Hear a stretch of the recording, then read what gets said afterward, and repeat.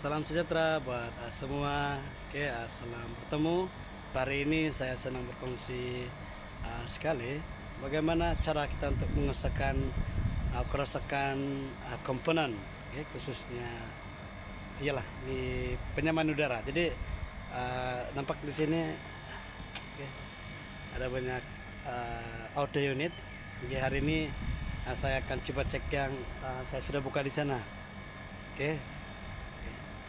Kita mau mengesahkan kerusakan uh, dan uh, kita bagaimana cara uh, sebelum itu saya mau bagi tahu masalah ekon ini di mana ya kipas ini tidak berputar.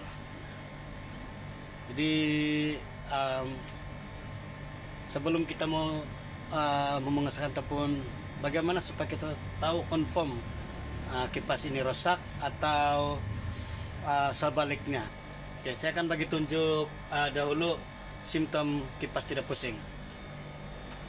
Oke, untuk ini dia three phase, dia pakai kontaktor. Oke, Guys, kompresor hidup, tapi dia punya kipas tidak pusing. Sepatutnya bila saya tekan kontaktor tadi, ini atau yang ini? Ini sapi ini triphase tau. Triphase jadi ini untuk kehidupan kontaktor nih. Tapi uh, mungkin apa dekat indoor tidak antar supply dekat sini sudah. Oke. jadi sepatutnya kipas pusing. Jadi saya akan cek langsung kapasitor dia lah. Kapasitor dia ada di sini. Uh, boleh nampak?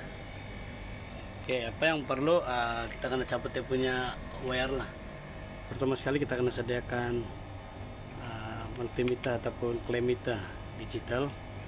Di kapasitor itu ada di sini. Ini kapasitor. Jadi uh, saya akan laras kepada selector knob ini di bagian untuk mengunci kapasitor. Ini simbol kapasitor. Oke. Jadi saya akan letak di sini.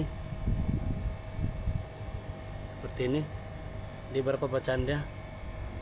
Dia punya bacaan 0014 NF maksud dia tidak ada bacaan dalam unit Faraj atau UF jadi maknanya kapasitor ini sudah rusak tidak punya nilai lagi.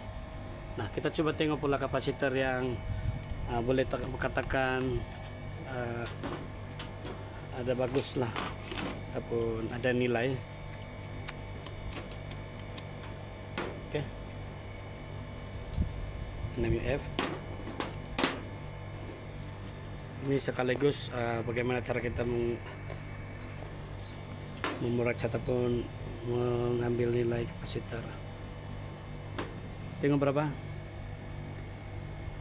2.3 UF maksudnya kapasitor masih boleh pakai ini kapasitornya oke. Okay. jadi kapasitor yang ini saya akan uh, coba sambung dekat sini. Sama ada kipas hidup atau tidak?